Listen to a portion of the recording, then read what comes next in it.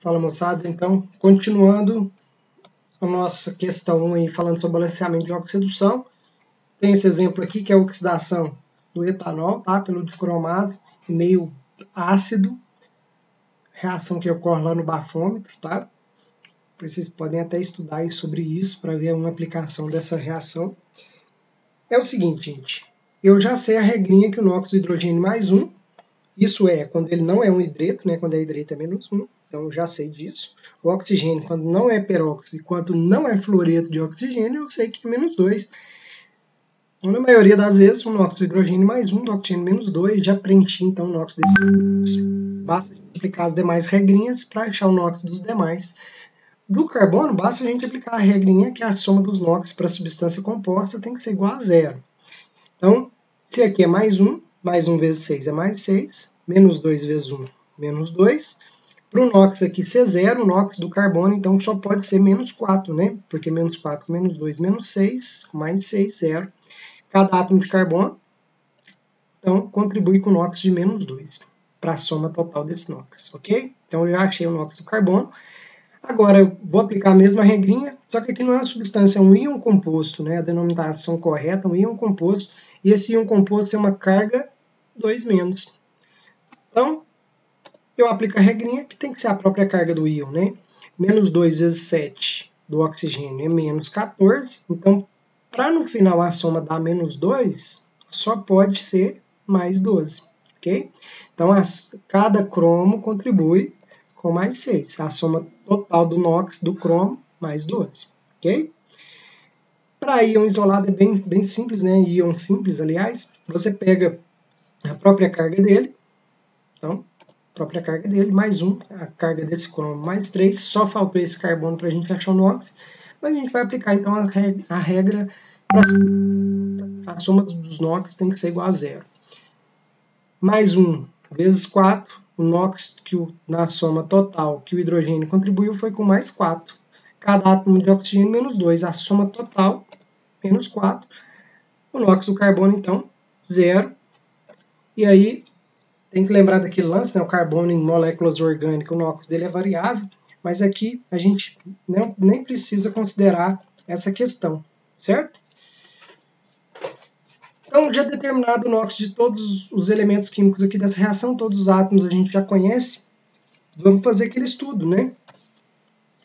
O carbono eu sei que está variando de menos 2 para 0. Essa variação do NOx é igual a mais 2, 0 menos o menos 2 dá mais 2.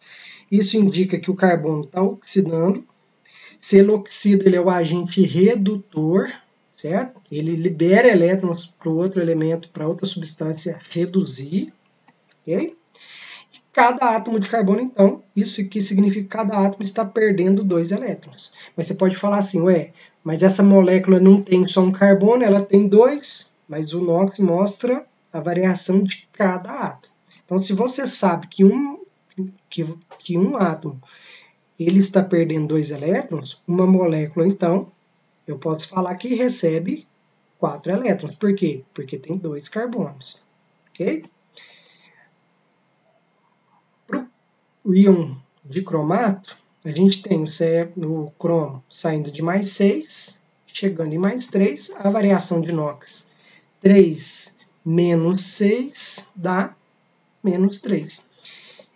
Isso, então, indica uma reação de redução, NOx reduziu e que cada átomo de cromo recebe 3 elétrons. Você pode falar assim, ué, mas aqui é SR2, ué, se é SR2 e cada um recebe 3 elétrons, então um desse cara aqui, um do dicromato, recebe 6 elétrons, porque cada cromo está recebendo 3.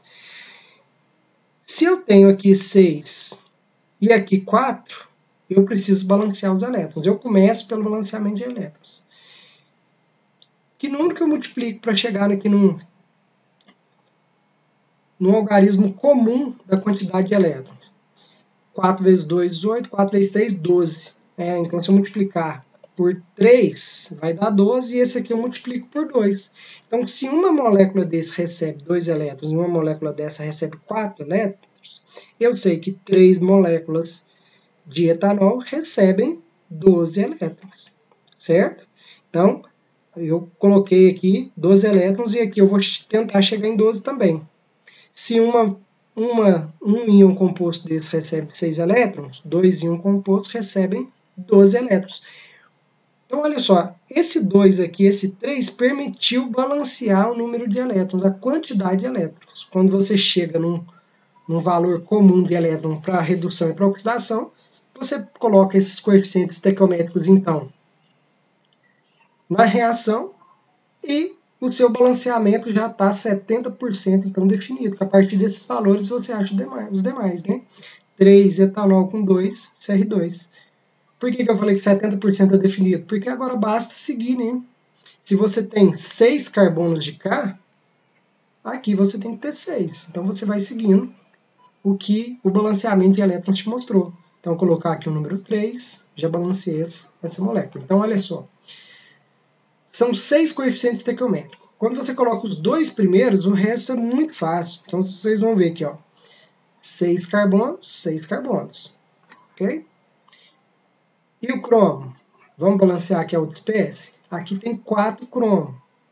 Aqui eu vou pôr o número 4. Porque eu já balancei, então, carbono, que recebeu elétrons, que oxidou, desculpa, e o cromo que recebeu elétron, que reduziu. Então, já balancei os dois. Agora, o resto aqui é bem simples, né? Eu posso falar, posso fazer aqui para vocês o balanceamento para o oxigênio, vocês percebem que aqui, quero que vocês percebam o seguinte, o hidrogênio que eu vou deixar por último, substância que está átomos isolados, assim, igual aqui nesse caso aqui, o hidrogênio que está isolado, eu vou deixar ele por último para balancear. Porque senão, né, se eu for colocando número aqui, corro risco de errar, né? Se bem que tem um macete aqui que dava para matar que é pelo balanceamento da carga. Mas eu vou mostrar aqui para vocês, sem esse lance da carga, outra, outra oportunidade a gente discutir isso. Se a gente contar que a quantidade de oxigênio que já está balanceada do lado esquerdo, aqui não está balanceada, a gente percebe que aqui tem 3 oxigênios com 2 vezes 7, 14. Então dá um total de 17 oxigênio aqui do lado dos reagentes. Do lado dos produtos, aqui a gente já tem 6 oxigênio. Para dar 17, eu preciso de mais 11. Então, como aqui é o número 1, né, eu preciso de 11 oxigênio. Consigo balancear, então, a quantidade de oxigênio. E faltou somente, então, hidrogênio. Se vocês somarem aqui 3 vezes 4, 12 hidrogênio, com 22 hidrogênio, a gente tem, então, do lado dos produtos, 34 hidrogênio. Do lado dos reagentes, 3 vezes 6, 18. Para dar 34, basta a gente colocar então o número 16 aqui e a equação está balanceada. Certo? O lance da carga que eu falei para vocês é porque o balanceamento de carga também deve ser obedecido. Se aqui eu tenho quatro cargas negativas, 4 negativas, com 16 cargas positivas, vocês concordam comigo que há um excesso de 12 cargas positivas do lado do reagente, não é? Então, o total da carga do lado dos reagentes é 12 cargas positivas. E do lado dos produtos? Também tem que ser 12. 4 vezes 3, 12 cargas positivas. E isso também tem que ser obedecido, certo? Pode, depois que balancear os elétrons, pode utilizar essa questão das cargas também para fazer o balanceamento. Ok, gente? Então, a gente finaliza esses exemplos aí. Na próxima aula, nós continuamos a resolução dessa lista de exercícios junto com vocês. Valeu? Obrigado, gente. Um abraço, até mais.